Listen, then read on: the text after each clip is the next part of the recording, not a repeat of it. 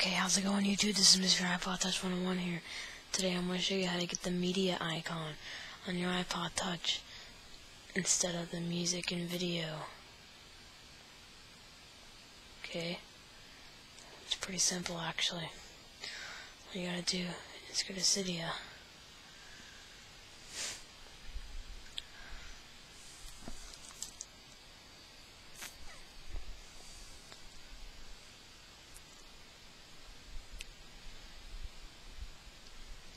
Okay, what you do to Cydia is you just go to search, or no, not, not that. Search. You go to the top. You search. Oops. Oh my gosh. Music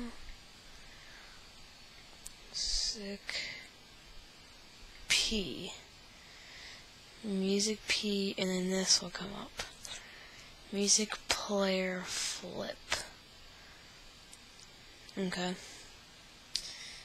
And you just install it. This is like the icon that comes up on the iPhone, obviously.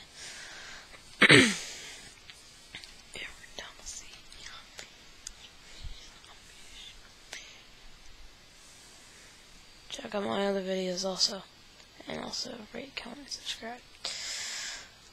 Okay, so when you do that, just like somehow respring it. I'm just gonna do it by like clicking the theme and then unclicking it. I'll respring it on winter board at least.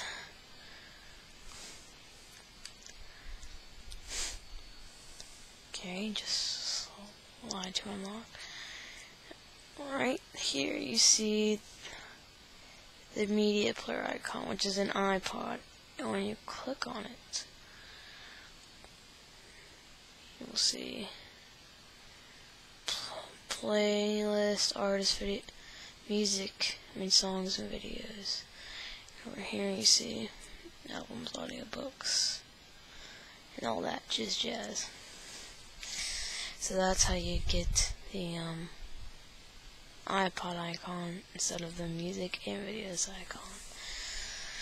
Any questions? Just send me a message. Um, please comment, rate, and subscribe.